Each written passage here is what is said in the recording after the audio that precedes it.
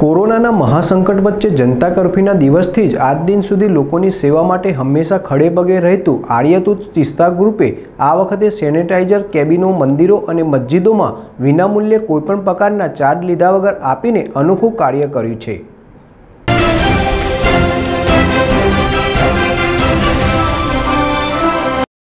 નાનપુરા ખલીફા મોહલ્લાના અયાતુત સિસ્તાની group જનતા કર્ફ્યુના પહેલા દિવસથી અત્યાર સુધી લોકોની સેવા કરીને સમગ્ર કોરોનામાં કોરોના સામે લડતા એક લડાકુ ગ્રુપની ભૂમિકા ભજવી છે.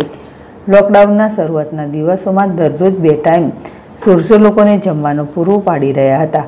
તેની સાથે સાથે અનાજની કીટો પણ બનાવીને આજુબાજુના સ્લમ વિસ્તારોમાં વિતરણ કરી હતી. તેના પછી રમજાન માસ આવતા શહેરી અને ઇફતારીમાં પણ લોકોના ઘરે ઘરે જઈને જમવાનું પહોંચાડતા હતા અને અત્યારે સરકારે ગાઈડલાઈન આપીને જ્યારે મંદિર અને મસ્જિદની છૂટ આપી છે ત્યારે તેર જેટલી સેનિટાઈઝર, કેબિનો, મંદિર અને મસ્જિદમાં વિનામૂલ્યે મૂકીને એક સરાહનીય કામ કર્યું હતું. તેમાં જ એક નાનપુરા ખલીફા મોહલ્લાની મસ્જિદ અને પાલ રોડ સ્થિત અટલ આશ્રમમાં એક કેબિન ઇન્સ્ટોલ કરતા નજરે પડ્યા હતા.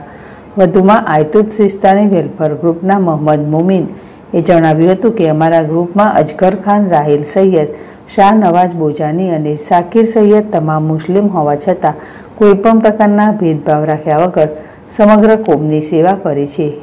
એ એક કોમી એકતાનો એક સંદેશ સમગ્ર દેશને આપ્યો છે. બ્યુરો રિપોર્ટ, જેડેશ ટીવી, સુરત.